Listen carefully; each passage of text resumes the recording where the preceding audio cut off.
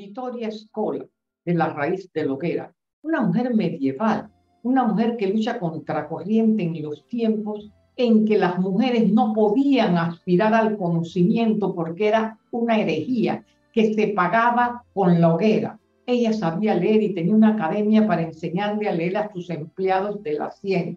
Eso disgustó a los custodios de saber, del saber.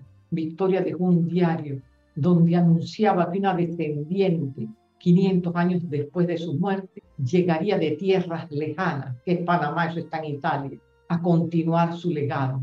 El diario inicia, soy Victoria Escola y quiero solicitar que a ti, custodio de mis memorias, que les brindes toda la cooperación a mi descendiente que vendrá en 500 años. Escribe este diario cuando está detenida. También cuenta cómo ese diario es para ella todas sus memorias para que continúen con su misión.